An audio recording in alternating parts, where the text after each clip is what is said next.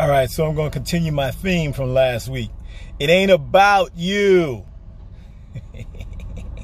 now, that's not aimed at anybody in particular, everybody in general.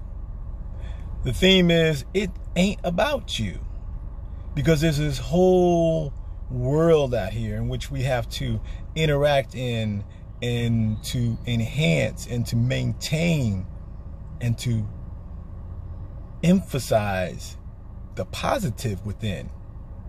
Some of us have kids, some of us have loved ones, but in any event, there are those that will follow behind us and they will be left with the remnants of what we have done. Now, that's on a relationship, personal level, that's on a physical structure level in terms of the earth and the things that we are doing or not doing. And that's on a mental, social, emotional, interactive level. What we do leaves a footprint.